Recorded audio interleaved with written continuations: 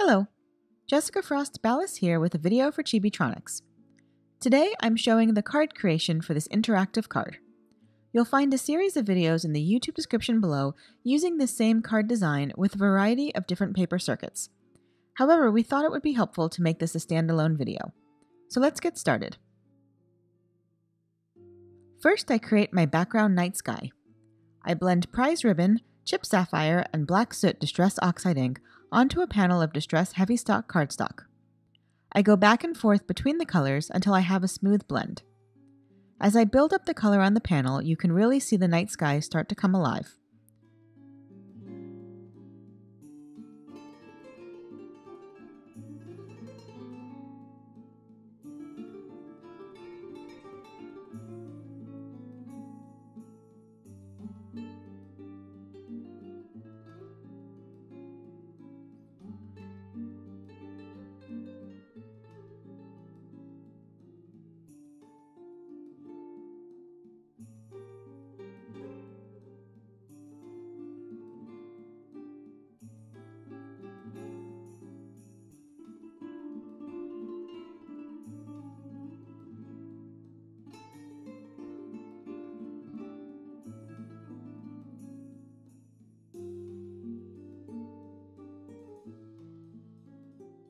I dry the panel with my heat gun and then set it aside.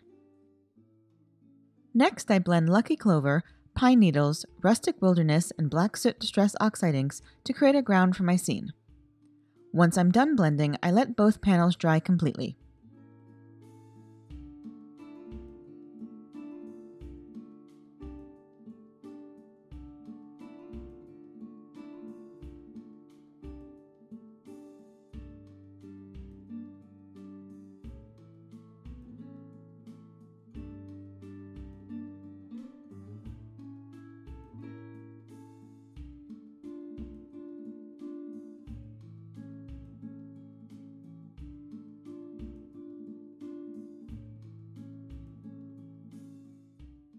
Once the panels are dry, I spritz them with water and blot off the excess to create lighter spots.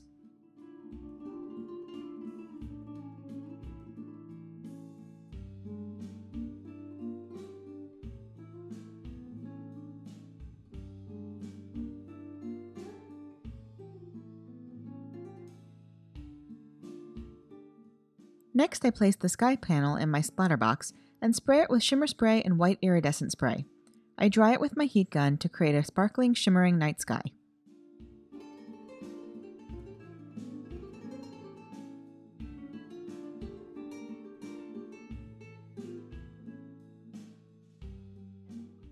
Then I stamp images from How You Been and Little Fireflies for my scene.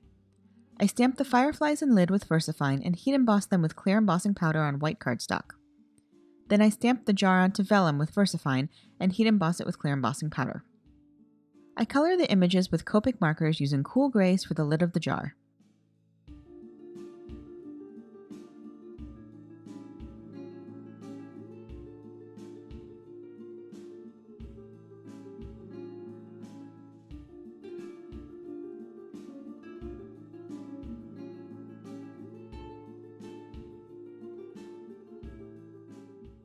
I use Cool Gray 0, 6, 4, and 2 for the firefly's body, Y11, 17, and 15 for the glowing part, B0000, 000, 00, and 01 along with the colorless blender for the wings.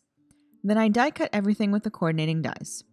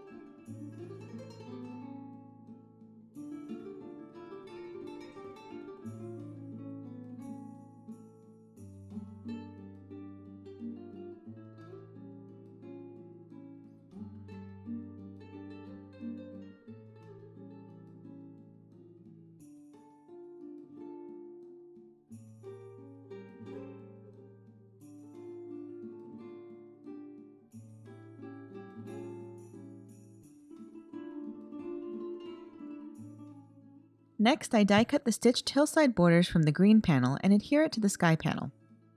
Off camera, I stamp a sentiment from Little Fireflies onto black cardstock and heat emboss it with silver embossing powder before trimming it down to a thin label.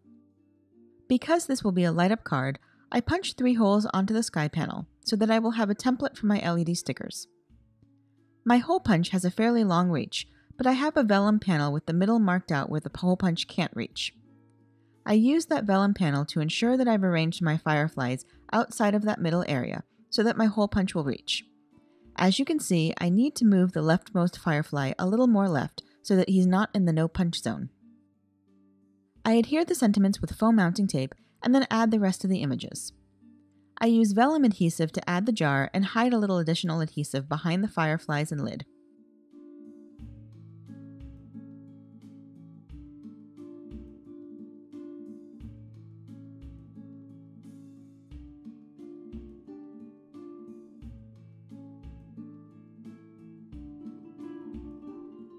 Then I use a pencil to mark where I want my fireflies to light up and then punch the holes for the LED stickers to shine through.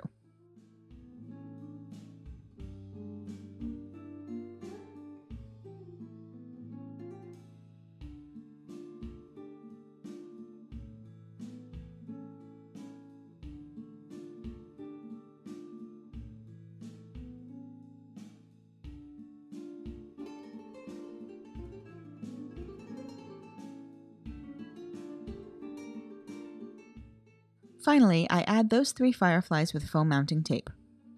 Because this is a template card for my series of circuit videos, I'm not attaching it to a card base, but I'm adding magnets and foam mounting tape with the adhesive backing still on it to the back for my circuits. Of course, you can skip the hole punching and just attach the card to a top folding card base, but I hope you'll watch the rest of the videos in this series and consider trying a paper circuit.